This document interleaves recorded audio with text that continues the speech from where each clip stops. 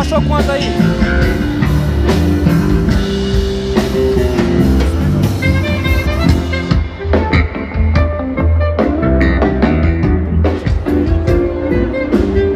Será que o som é poderoso atrapalhando o palco principal da